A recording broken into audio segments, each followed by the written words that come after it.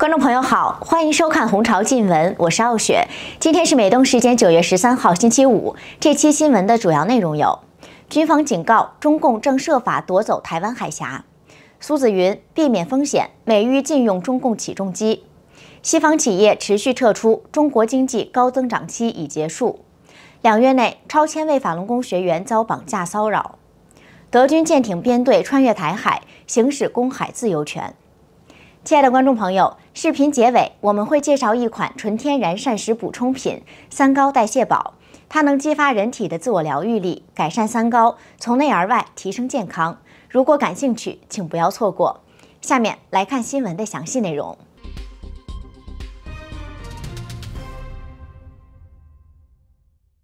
有军方人士提醒说，中共用阳谋让台湾逐步失守台湾海峡。与此同时，美国通过外国媒体向北京发出了警告。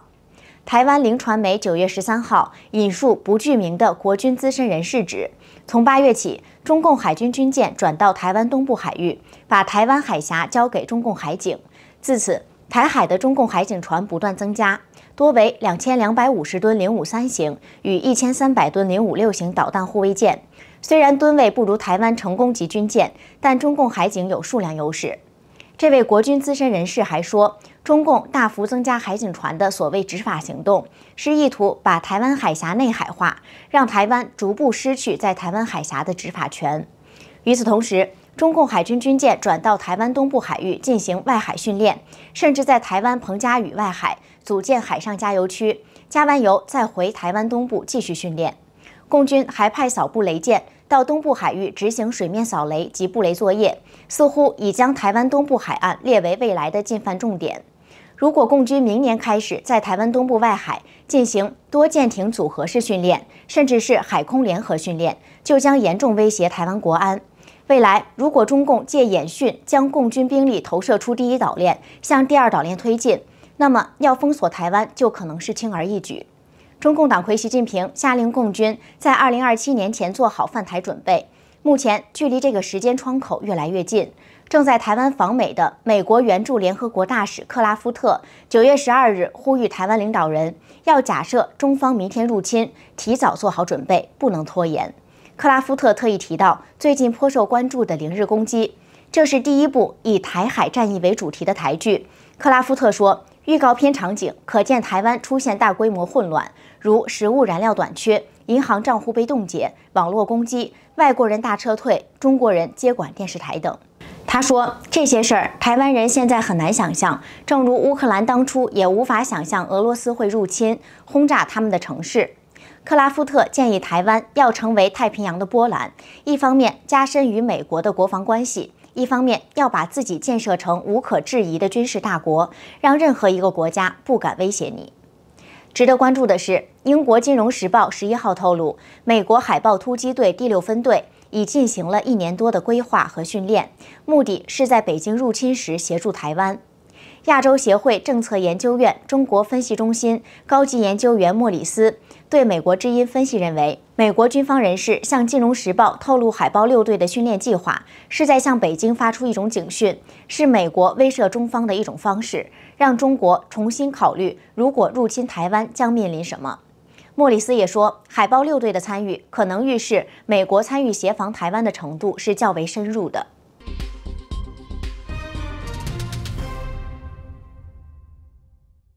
美国众议院十二号公布了一份联合调查报告，披露了中共对美国经济和国家安全构成越来越大的威胁。报告则侧重美国港口基础设施的安全隐患，特别聚焦振华重工的起重机。推出这份调查报告的是众议院三位共和党议员，他们指出，中共国企上海振华重工目前占美国港口船对岸起重机业务的近百分之八十。有证据表明，振华重工可以充当特洛伊木马，能够在中共军方的要求下利用和操纵美国海事设备和技术，可能影响从东海岸到西海岸各地美国人的安全，影响全球军事以及商业活动。声明还补充说，虽然拜登当局关于海事安全的行政命令是向前迈出的重要一步，但调查证明显示，巨大的损失可能已经造成美国官员已经对二百多台中国制造的起重机发出了警告。这些起重机被用在美国各地的港口和海事设施装卸货物。对此，希望之声记者十三号采访了国防战略与资源研究所所长苏子云。起重机这些基础设施就可能会威胁到美国的安全。这些起重机它的马达等威胁比较小，但是都透过网络的连接，可以做远端的修复工作等等的。中共的这些公司就可以下载起重机的工作状况，甚至于可能会有内建的系统。起重机所拍摄到的货物的画面情报给中共去运用，那么就知道美国的商业情况，更重要的是军事部署的情况。因为你建船舰建造或者是军事物物资的运输变成数据出来，当然就等于是给中国关于国家层级的战略情报了。苏子云解释了振华重工起重机的潜在风险，就是中共的华为的另外版本。华为因为占据了基地台，就是手机的基站，当然就可以把里面的数据或者资讯传递给中共。那第二个就是大疆无人机之前被发现它有不正常的传递讯息。再来就是类似这种资讯网络的应用，不管是大疆或者是华为，甚至起重机，甚至中共的电动车，也是因为它网络连线。这些百工百业只有一个事情，就是只要它的网络设备是中共提供的，那就有潜在的风险。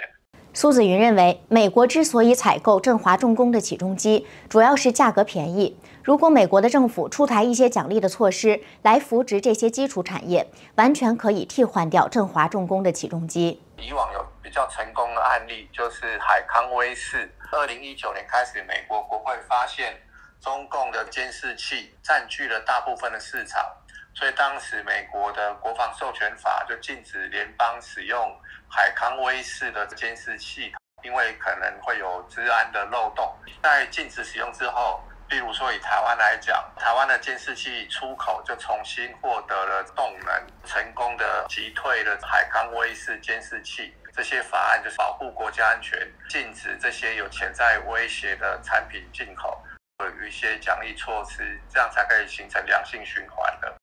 希望之声记者凯特潘翔采访报道。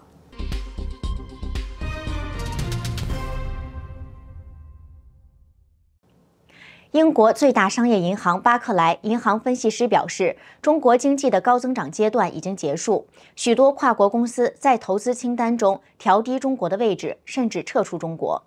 美国南卡罗来纳大学艾肯商学院教授谢田表示，中国的营商环境恶化，劳动力成本的上升，知识产权的不受保护，政府对中国企业的巨额补贴造成的不公平竞争，中国经济的增长放缓和利润都减少，造成外资企业和投资离开中国。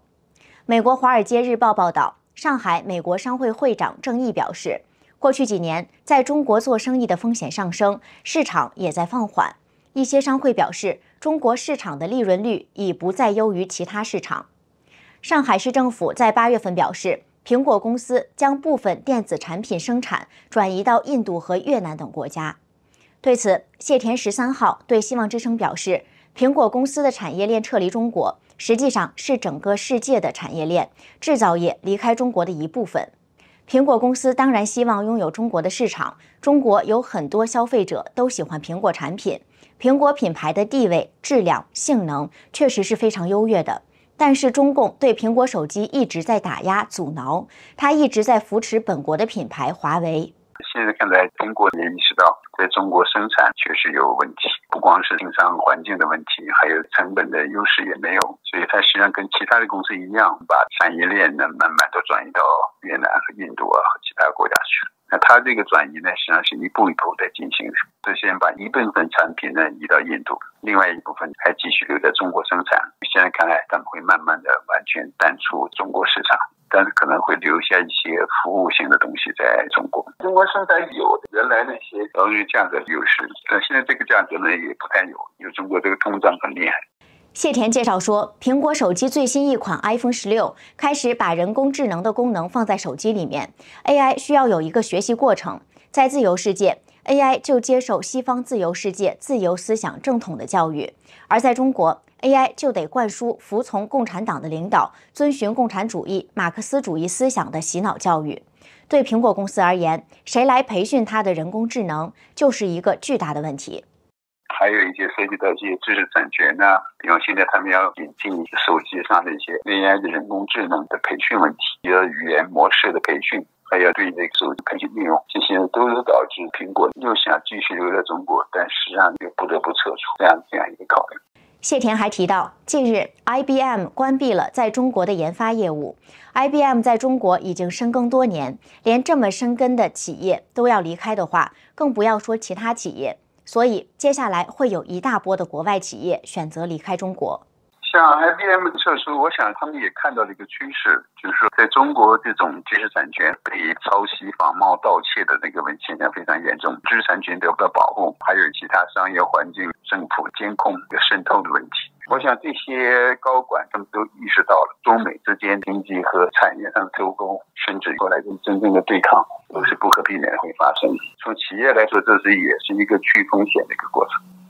本台记者王潇采访报道。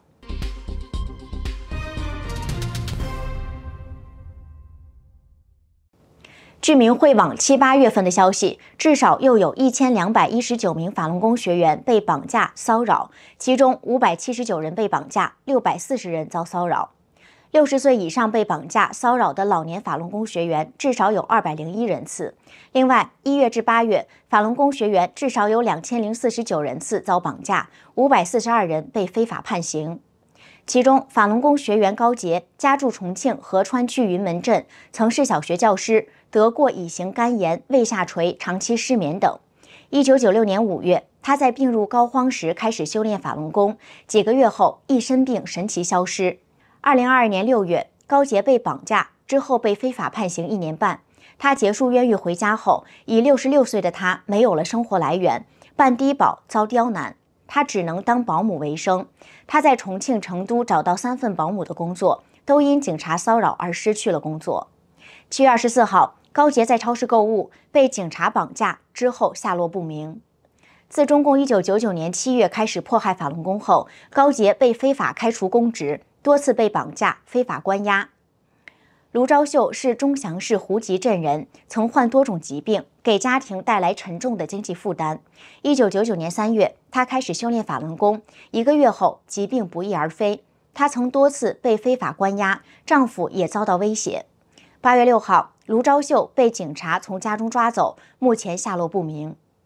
王健是江苏省太仓市人，从1997年开始修炼法轮功，身心得到很大的改善，受到亲朋好友的称赞。因为修炼法轮功，他累计被关押长达十一年之久。八月十一号，王健再次被警察从家中绑架，现在被非法关押在太仓市看守所。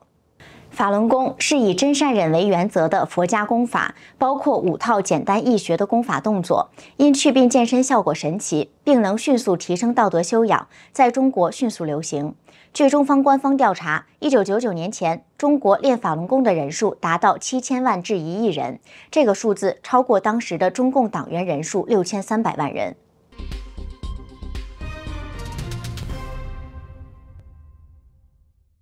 德国海军两艘舰艇编队十三号穿过台湾海峡。分析认为，面对中共近年来对临边海域的挑衅，德国以行动维护台海和平稳定，贺阻中共，避免战争，与西方盟友形成国际共识。路透社报道，德国巴登福腾堡号护卫舰及法兰克福号补给舰十三日驶过台湾海峡，这是二十年来的首次过境台湾海峡。台湾国防部表示，十三号上午，两艘德国海军舰艇一直向南航行，通过台湾海峡。一位安全消息人士表示，这些船只可能会在十四日完全驶离海峡。这个舰艇编队先后访问了日本和韩国，十号离开韩国前往菲律宾马尼拉，十三号早上从东海进入台湾海峡北端往南航行。此前，中共坚决反对德国海军舰艇穿越台湾海峡，但是分析认为，按联合国海洋法公约，在领海以外的水域，所有的国家都享有公海自由权。这意味着任何国家的船只都有权行使这些自由权利。美国海军将台湾海峡定义为国际海峡。台湾国防大学国防战略与资源研究所助教钟志东对大选表示，德军特别经过台海，是对中共的一种警示。希望能够贺阻中共，预防可能的军事冲突，以维持台海的和平稳定。此外，钟志东认为，这也显示德国跟台湾的关系升温。前不久，台积电在德国设厂，德国总理以及重要的官员全部出席，展现了台湾跟德国关系的重要性。在今天节目结束前，我们先来聊一个和健康有关的话题。很多服用三高代谢宝的客户给健康五二零网站反馈，表示感谢。我也很高兴能把这么好的产品带给大家。糖尿病的国际知名专家 d f r a n z o 教授，他指出，糖尿病是由八大因素导致的，它的成因不只是血糖问题，还涉及多个身体器官的功能失调，如大脑、肝脏、肾脏和胰脏，这些内脏器官相互影响，共同作用，导致糖尿病的发生与发展。而我们为大家推荐的三高代谢宝，它的独特配方是专门为了调节这些关键器官的功能而设计的。使用的是全天然的成分，目的是提供全方位的健康支持。来自美国佛罗里达州的 Kelly 女士在服用三高代谢宝后，告诉健康五二零说：“这个头晕是两年前的。我问我女儿说为什么头晕，她说妈妈你是有糖尿病，可吃过以后。”第一件就是头晕没有的，我很高兴，谢谢谢谢。就是我的小便功能呐，它改变很多，它真的改变很多。呃，膀胱啊，它改变很多，非常的清晰。如果您或您的家人正在寻找一种天然方法来管理血糖并提升整体健康，请登录健康五二零网站了解更多详情。这期的红潮进闻就到这里了。欢迎就今天的新闻话题在视频的下方留言，和我们分享您的观点。请别忘记帮助我们点赞、订阅和转发，感谢您的支持与收看。